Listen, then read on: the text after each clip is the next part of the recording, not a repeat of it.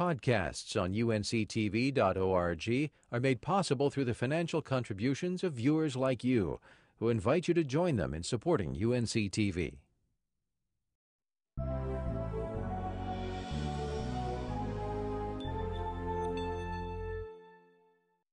For many North Carolinians, uh, Lee Smith is our favorite author. So the good news is that Lee Smith has a new book. And the better news is that she's here to talk to us about Mrs. Darcy and the Blue Eyed Stranger on North Carolina Book Watch. Next. Funding for North Carolina Book Watch is made possible through the financial contributions of viewers like you who invite you to join them in supporting UNCTV, and by the Mary Duke Biddle Foundation, Quail Ridge Books and Music, and the North Carolina Humanities Council.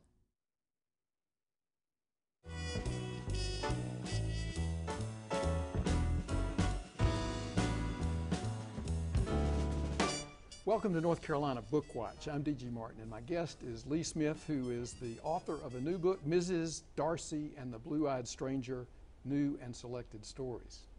Lee Smith, welcome. Well, thank you, D.G. I'm glad to be here. Well, Lee, I, I, I worried about how to introduce you because uh, everybody in North Carolina knows who you are, at least everybody who likes to read books. But I, so I wondered, um, you've been introduced a, a thousand, ten thousand times. Oh, Do you, is it, have you ever, did you ever have a memorable introduction, one that uh, sticks in your mind? well, I was once on a uh, talk show when the host uh, said, well, I haven't read your book, but I hear it's real good. at least he was. At he least said, he was "Tell us honest. about it," and I was on the spot, which I was not prepared for. It was really hilarious. Well, it's it's it's interesting. It seems like yesterday that we were together on uh, North Carolina Book Watch, talking about your latest novel on Agate Hill, It which does, was it does seem like yesterday. you know yeah. a, a, a long narrative. I mean, an epic. Yes. Well, would you, would you say an epic narrative? I mean, just wonderful in the sense that it carried you for a long time. And now you bring us a short book of short stories. 14, right. 14 stories. That's right. That's right.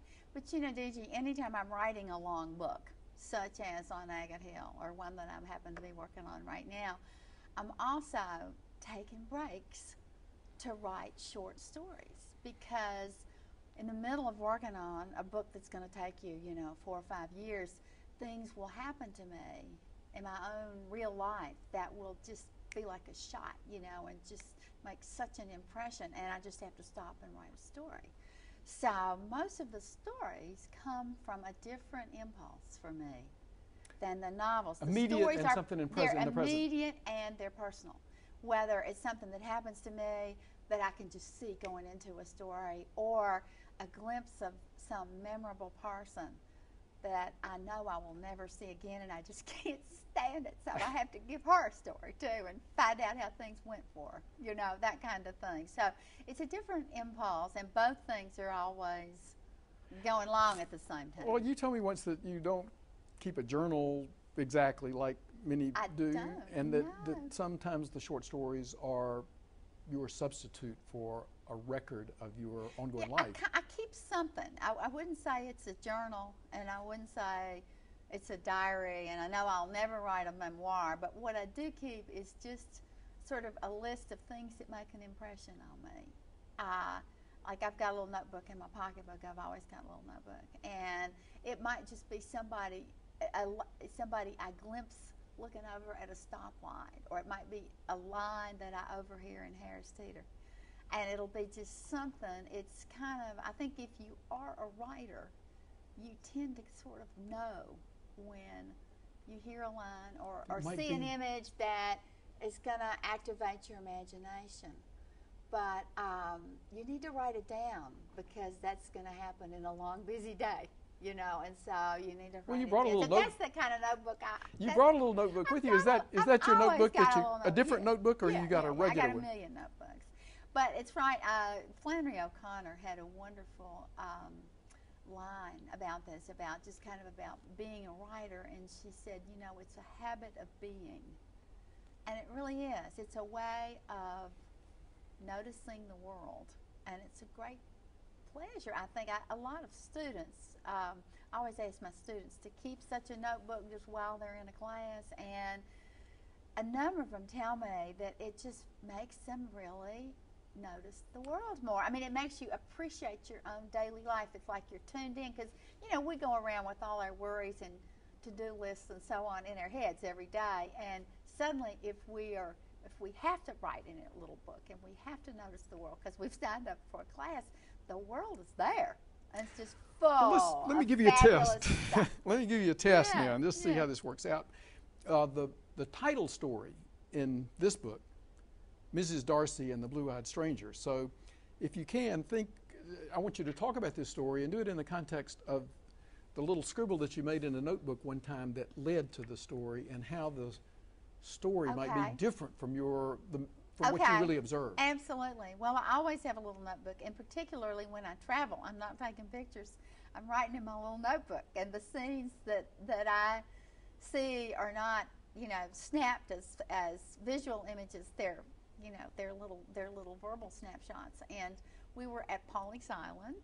We happened to have rented a house next to a house that um, was occupied by a recent widow, an older lady, who had begun, according to her daughters, to behave strangely since the husband's death. I mean, she was no longer the conservative, prim and proper mama that they expected as she approached her 80s. You know, she was in her late 70s. Instead, she had begun, you know, eating nothing but frozen pizza and making wild new friends and actually uh, turned to charismatic in her In her religion, in, in her, her religious religion. beliefs. She'd always been a Presbyterian. the frozen chosen. No, I'm just, just- you're I'm getting just personal kidding. I'm you're just getting kidding. personal now. I'm just kidding. But anyway, uh, this really was a situation, and the daughters would be gathering on the deck, the three of them and their husbands, or you know, whatever, and just talking about it and sort of talking with each other about what to do about mama, which is a conversation that we all have. You know, I'm sure my children Well, are already rings gathering and yeah, thinking rings what to do about me. Rings true. What did you? now, Yeah, Excuse me so- for interrupt. What did yeah. you write down? And when I did just you wrote write? down the situation. Like like in a in a sentence in a paragraph. Yeah, I just wrote down uh, her no a description of the widow standing in a caftan, sort of looking out to sea, and the daughters sort of huddling together, you know, as if she were somehow see a now painting. Oh, other. gosh, yeah. You know, it was like a painting. I, I see it almost like an impressionistic Mm-hmm. painting, you know, maybe of uh, a beachscape.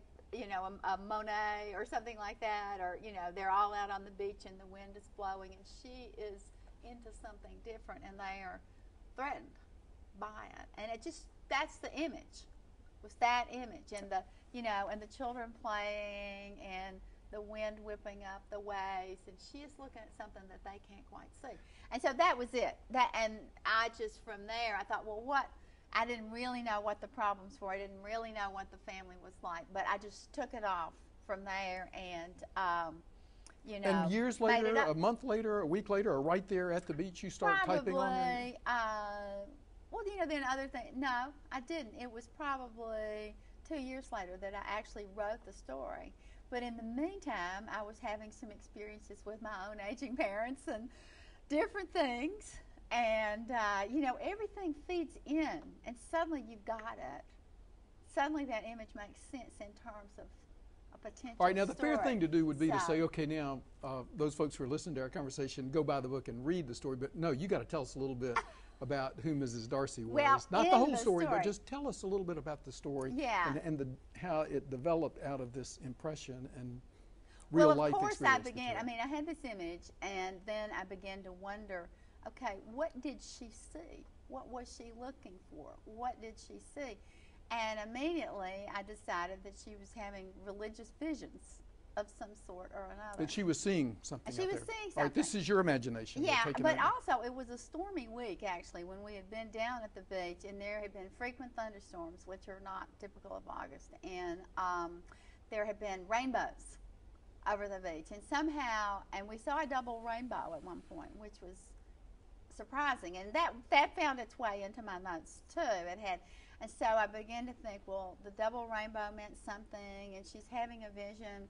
And then I decided that she was seeing a stranger. She was actually seeing Jesus, or maybe Willie Nelson, Or- or an- or an angel, or- sure yeah. who, or an Right. angel, or whatever, but somebody in a long sort of robe, and that this would sort of this would further disturb her, her Yes, uh, children. and she absolutely was, though. I mean, and this was real, and that just really interested me. Okay, how does that affect the children? Because I had already begun to realize we're the sandwich generation. You know, we're trying to take care of Mama, but then our own grown children, you know, are, are thinking about us. And so it's just really interesting to be there. And I, I was thinking about how grown children do not like for their older parents to change and how did that affect them. And so this conflict was set up. And of course, I've always been interested in charismatic beliefs of all kinds. And um, so suddenly I had a story. All right. Well, what was the story? Uh, let me, The let me- story is that she looks out. She, they're all there together for a beach vacation. She looks out, has a vision, falls down in a dead faint, and then when she comes to, she tells them all that she's seen a man in a long, you know, with long hair and a sort of a caftan himself, coming toward her, and she's ready. You know, she said, "I went to him, of course." I mean, there's this you know, this sense, and they are just astonished, and they're all deciding what to do about her. And uh, only one daughter is sympathetic. Only what one. what what in your mind turns this from a series of events and memories and then um, imaginary um, supplements to the memories? What what has to happen to make it a story? You just have to start writing it. No, no, no, no, no, no. What no, what I'm quite what? serious. I'm quite serious because this is just a, you know, it's it's a sea of impressions, literally, and ideas. But once you actually think it through and think, okay, whose story is it? It's Mrs. Darcy's story, but it's going to be, in this instance, omniscient. You got to think two things: whose story is it? Number one, and what's going to be the technical point of view in the story? Is it going to be mm-hmm. told through her eyes, Mrs. Darcy, or through one of the daughters? And in this case, I chose to tell the sort of ancient 19th century omniscient point of view, you know, a little bit from everyone, which is kind of the hardest way for me to write. But it just seemed to be a group image because of that initial Well, visual image. And so it is, it is a little bit from everybody. It's just, okay, what does this mean for everyone? But it ends finally with being Mrs. Darcy's story and her triumph. She sends them all back to Charlotte. so that's the the, the, and the, she's there she is on the beach, waiting. the story ending is not the right word, but the the con- concluding moment or the Yeah. the moment that we're looking for that makes it a story is when she triumphs by sending her children Right. back and taking charge of her life, and even though taking charge of her life, even though they don't approve, and even though she herself even knows that it's just so unusual, you know, you know. But it's her life, and damn it, she's going to take, you know, she's going to take charge of it. And so that's the moment. That's the moment we're going for. And she's alone on the deck chair, looking out, and she's ready. She's waiting Well, for well, whatever, and she's still open to life at her age. this, of course, uh, Ms., um, Mrs. Darcy is not only the hero of this story, but is also this is the title uh, of the book of the whole book. Yeah. But just one story, and this story, as you pointed out, is told from a, a third person omniscient Yes, point right. of view. Yeah. Uh, several of your stories, uh, and, and maybe um, are charmingly written in the first person, in which you just seem to get inside the character and tell it from that point of view. Yeah. give- give- what is your favorite first person story? Or what is it Oh my goodness, I no, well, know. just pick one to illustrate uh, how you came to use there, that voice. Yeah, well, there is one in here um, named, oh, what is the name? Chanel. I changed the name. Oh yeah, the, is this the Southern Cross or the this Southern, Cross. Yeah. Yes, and which had another name for a while.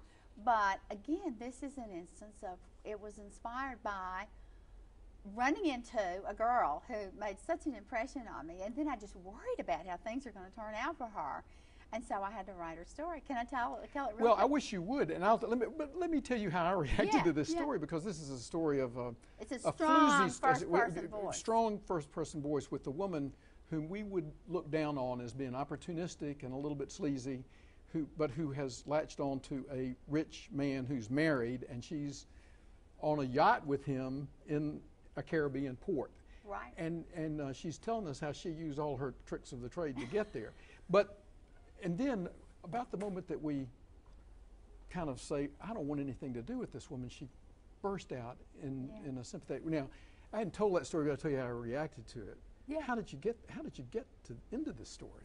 Well, actually, I was on assignment for American Airlines magazine in the Caribbean on an island named Mayreau with my uh, husband. And we were, it was a very small island on a half moon bay, and we were staying sort of back in the jungle here at a guest house. And then we walked up to the water to a restaurant, which was just a house where they were cooking one thing, and chickens are running around, and Christmas tree lights are strung through the pines and everything, and the palm trees. And I was fascinated by all the people there because they were coming in from their yachts on dinghies. Ah. And they were a sort of person that I had only ever seen in magazines. you know, and I was just, I mean, this is a novelist paradise, DG. So I was just so taken with them. And I was dying to overhear every table, and many, you know, many other languages actually were going on at the tables. But anyway, I was dying to listen to everyone, which I couldn't quite do. And one table near us fascinated me most of all because it was these three kind of guys that were sort of had sculpture cut hair and they were sort of buff and they were sort of had gold chains, you know, and I'm thinking, oh, but the woman with them, young girl, was so beautiful. And I Ah. just thought, oh, she must be. I just couldn't imagine, you know, she and why was she with those sleazy people? So the minute she got up to go to the restroom, I went too. And then she was um, smoking a sort of a long European cigarette, and I had conceived the idea she was French. So I said to her, "How are you?" you know, like you do when you can't speak the language. I said, "Where are you from?" and she said, "Hazard, Kentucky." and I couldn't believe it because it's right over the mountains from where I was from. And so I just chatted with her. Didn't really learn at all what in the world she was doing on a yacht with these three dubious looking guys, but I had to make up her story because I couldn't Oh, wow. stand to see the end of her. And of course, I found her to be a very sympathetic character finally. Well, I, um, gosh, time's moving along so fast. And one of the, uh, this is not the right time to ask this Yes, question, yes, but I've got to ask it, um, or maybe it is the right time, because uh, to a certain degree, you've either confessed or asserted that your stories are often autobiographical. And so, I, is is the story in any respect uh, uh, the little mountain girl who's lifted herself up through? Well, uh, it is, of course. Yeah, it's the little mountain girl who's finding a way, who's found a way out, and now she's now she's trying to establish her own value system, sort of. I mean, uh, that's that's you know that's what's going on. So you had an identity. I mean, not the same kind of identity, No, but I that do. you.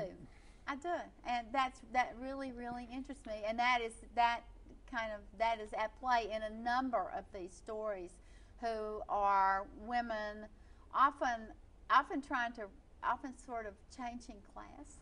You know, Yes, I, yeah, I yeah, write yeah, about, yeah, yeah, right. I write about class, Yeah, that- and it interests me.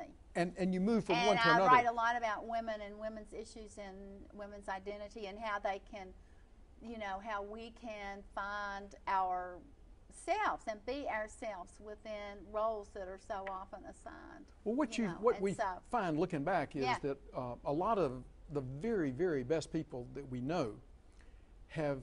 Um, I don't want to say modest roots, but they have they've grown up in independent, poor circumstances, and they've Yeah. learned how that they have to make their own way. And by learning how they've made their own way, they're better than some of us who kind of were pushed Yeah. along the way. Absolutely. And I'm interested, that's what I'm interested in, DG, is in all these stories. What we were talking a little bit earlier about what makes a story. Yeah. And what makes a story is cha- a person who is on the verge of change. And I like to write a story that catches those turning points in people's lives. So you- we all have them. We all have them. A moment that kind of captures and epitomizes that where we went this way or we went that way. So and that reading the stories is really fun for me to song. think about what it is. You Look know? for the turning point. I mean, that's the right. uh, that's that's That's the, right. And my uh, and my characters, I mean, my characters are braver than I. They're often you know, acting out things that I never experienced and wouldn't have ever done. But the issue may be the same, you Well- know, as they try, particularly to, to define them themselves and be true to themselves and figure out what that means. Well, this is uh, this is a question I wanted to ask you, and Yeah. it's uh, in in some sense every one of these characters um, in the 14 stories in Mrs. Darcy, you could say are weird. And, and so, uh, or at least, I mean, that, you could argue, argue. And on the other hand, you could argue that every one of these people is just an ordinary person and that Yes. all of us have a weird, well, what is your perspective? Do you look at all of us, the rest of us as ordinary people, and we got a weird streak that you're looking well, for? I wouldn't say weird. I wouldn't What- say weird. I would say um, that each one of us is like a locked treasure chest or something. I mean, that each one of us, so many of us, you know, we might seem the same on the surface, but we each have an individual past and we each have our own fears and beliefs and dreams and aspirations and secrets. And that's what fiction's about. It's about the inner life. It's not it's about the weird stuff. The stuff that is not weird really, but different from everyone else. That's what makes makes it interesting.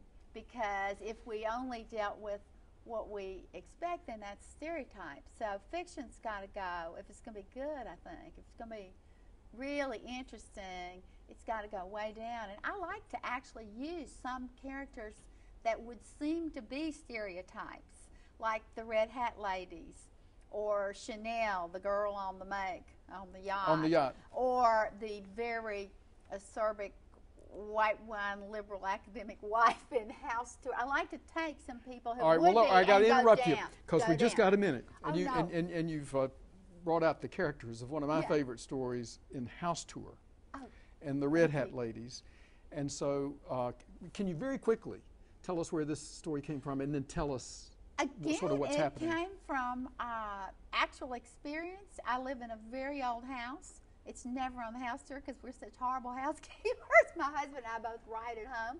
But I was upstairs writing one day and I heard this little sound down in the, the hall. And I went down and my house was full of red hat ladies who thought they were at the Burwell School. They thought they were at a house. and they just come in. Well, of course, because they thought it was on the house tour, and they They'd going paid all their around, ticket. and They- they're yeah, and they paid their ticket and walked up the hill, and there they were. So they said, "Well, can't you just show us around? We're already here." Now, how did this turn into? I, I, And there- it was there's more. fun, and I showed them around. But then I thought, okay, how would that turn into? Because an interesting, even colorful event like that is not a story. It's got to mean something to somebody. it's a good backdrop. It's a good setting for the story, yes, but it's not the story. So I made up the main character as this academic wife whose husband has left her and she hasn't told anybody yet. And in come the Red Hat ladies, and in showing them everything in the house, all the memories of her whole Come marriage rushing back. come back, and she's making, you know, she's All right. she's at well, that right, turning speaking of rushing, I'm rushing She's back. at the turning point. The, uh, wonderful. That's just got to read that. Got to read that story. We got to rush along, but at, a- as house tour, in this wonderful setting, the story is like a number of your stories, maybe many of them, in which a marriage or love affair is really strained, breaking up, broken up. Um, I mean, and is that is Happy this the sto- families are all alike, DG, but unhappy families are the ones that have the stories. So it's not that You you're know? asserting that we're all like this. It is that these are the, the, the interesting things in life come from unhappy situations. Well, no, they come from point. They come from points where change is possible. And I'm not saying the interesting things in life, but I'm saying the things that become plots for stories. Is you know a character really well, and then you write the story about the day on which something different happens, a possibility for change occurs, and it could be from an unhappy Mm-hmm. reason or just from, you know, another possibility. but it's not the average day; it's the special day well, uh, an- another sort the of un- turning point. Unhappy situation that Yeah. kind of resolved itself in a religious way is, and you, is uh, Tongues of Fire. Yeah. Quickly, is this Tongues of Fire autobiographical? Well, sure. It is. No, it is very much the This is kind about a of girl who girl, speaks the in kind tongues. of girl who I was growing up, carefully raised, you know, by um, a daddy who ran a dime store and a mama who was a home economics teacher. But I was fascinated with the more dramatic life of one of my best friends whose mother spoke in tongues.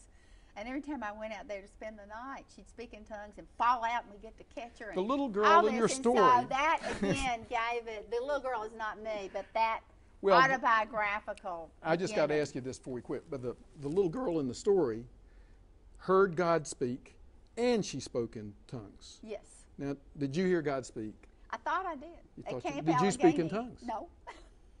I got put in the infirmary. Now, did you feel did you feel cheated because you couldn't speak in because you didn't? Well, actually, I don't think I thought of it at the time. But I was very much drawn to this and very jealous because my friend was having these experiences that I was not. And so I was at camp and I was kind of sick. I think I had bronchitis. It had been raining all summer. And I really thought that I was heard this voice, which again recurs in Mrs. Darcy Right. at a much later point in someone's life. And so I'm just, I like the characters that are open to possibility. they're gonna, they're the ones that are gonna find their way into my stories. And I did think I heard, you know, I definitely heard someone calling Wow. me, and nobody would pay attention to me, and they put me in the infirmary.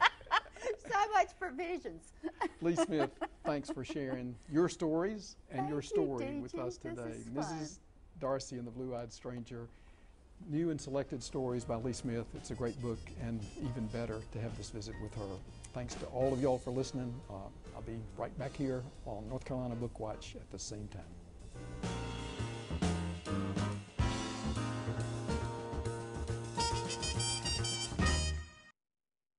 Funding for North Carolina Book Watch is made possible through the financial contributions of viewers like you who invite you to join them in supporting UNCTV, and by the Mary Duke Biddle Foundation, Quail Ridge Books and Music, and the North Carolina Humanities Council. Podcasts on unctv.org are made possible through the financial contributions of viewers like you who invite you to join them in supporting UNCTV.